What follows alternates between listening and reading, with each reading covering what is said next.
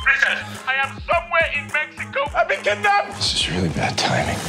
They want five million wired to an account. You tell whoever's got you, there is no deal unless they come way down on the price. What? What the mother? I almost feel bad for the guy. Stay focused. I am focused. Things are gonna start to get better for you. You work for bad people.